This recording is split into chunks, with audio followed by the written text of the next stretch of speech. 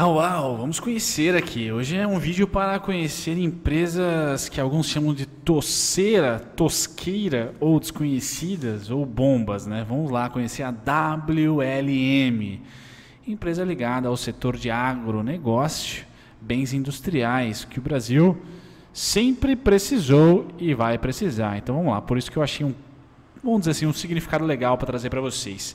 Quem é a WLM? Né? Foi fundada em 46 listada em 71 e tem cerca de 830 empregados. Sede Fluminense, Carioca, setor bens industriais, automotivo e agro, agropecuário. Produção e comercialização de produtos em atividades diversas dos segmentos automotivos e agropecuário. Me parece que os dois são necessários no país. Porém, quando a gente passa para segmento listagem, governança, hum, ela não é exemplo em lugar nenhum, talvez por isso que ela seja tão desconhecida assim. Né? Então é tradicional, certo? Não tem tag along para preferencial e o 80% que tem na ordinária basicamente não tem free float. Então não é legal. Essa parte a gente acaba sofrendo um pouco aqui em relação à WLM. Uh, não é uma empresa que desde o seu turnaround aí, né, que foi em 2018, não é uma empresa uh, alavancada, tá? Zero de alavancagem e tem o seu lucro crescente. Muito bem, ela pode ser classificada também, como ela tem participações em, em sociedades diferentes, né? É, até por isso que o RI dela é inexistente praticamente. Ela é uma holding, né? não financeira, né? não é igual a Bradespar, não é igual a Itaúsa, por exemplo. A 454 milhões aproximadamente, 455 milhões aproximadamente de valor de mercado e tem uma galerinha aqui participando dela, né? Vamos lá, a, a grande maioria, se não a maioria, né?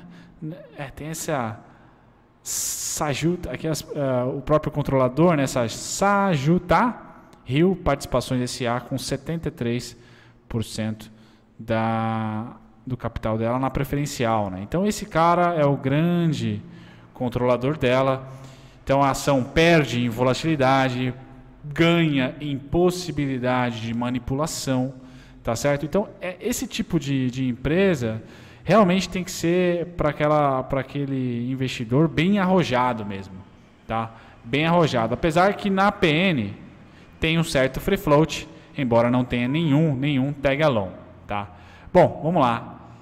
Fundamentos, né? O que, nós temos aqui na Fundamentos? Um PL salgado, porém um preço valor patrimonial barato, em desconto. Então, um elimina o outro. Aqui está legal. Temos ROI e ROIC decentes, não em dois dígitos, mas legal. E uma margem líquida crescente. Tá? Margem líquida crescente, olha aqui. Se a gente comparar a anos anteriores, tá? 2% ano passado, 3 aqui até o, o, o segundo tri e já 3,9, ups, 3,2, perdão, no terceiro tri. Então cresce a margem, investidores gostam, começa a entrar no radar, quem sabe, né?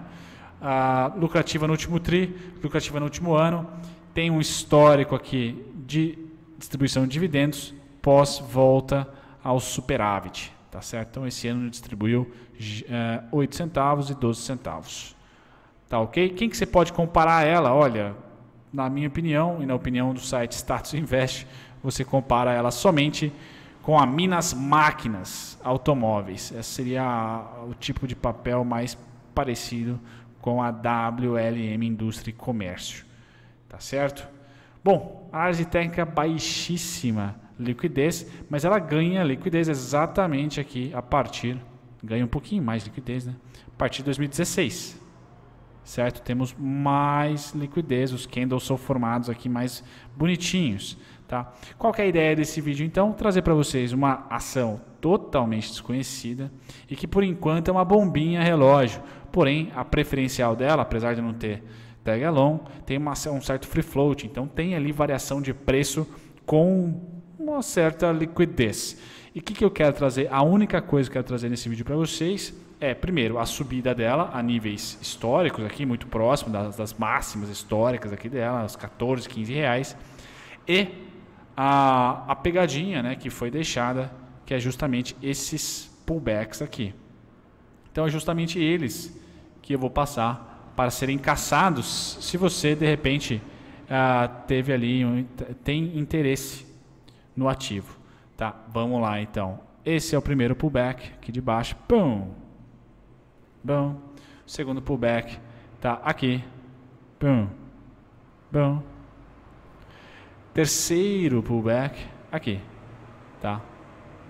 Então vejam que as regiões são formadas, até pode pegar esse último aqui, não tem problema nenhum. As regiões formadas ganham duas, dois aglomerados aqui. Um entre 11 e 13 e 10 97, outro entre 10 e 39 e 10 e 6. Então conforme ela for subindo, a gente vai, e se subir, né? A gente vai plotando esses dois grupos de pullback aqui, ó. Tá? Os amarelinhos a gente vai plotando se você quiser aproveitar a tendência de alta atual, pode ser uma ação que, apesar dos pesares, você vai estar fora do radar e ganhando seus troquinhos ali de uma maneira alternativa. Então, raramente eu vou abrir aqui o canal para ativos tão esquisitos como estes, mas só para dizer para vocês que sim, o mundo da bolsa é bem grande, conforme você vai pesquisando e vai ganhando ali algum tipo de conhecimento, você também pode navegar em mares esquisitos como esse daqui. Não deixa de ser uma curiosidade também esse vídeo. Se você gostou, deixe os comentários, certo? Para você do celular, repetindo então, né? Esse fluxo, melhor repetir o fluxo, se, se ela romper máxima, pode mudar os números ali. Então, um fluxo de queda dela vai de 3,19, certo? Aqui 2,50. Então, de 2,50 a 3,19.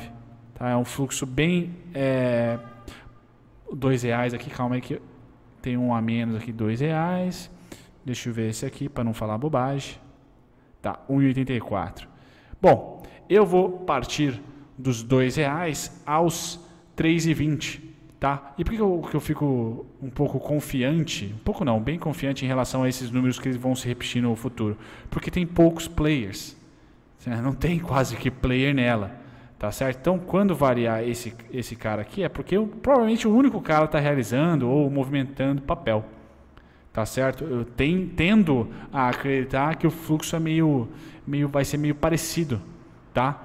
Ah, e ele varia então de 1,84 até 3,20 tá certo? 1,84, deixa eu dar um zoom aqui para vocês do celular, 1,84 até 3,20.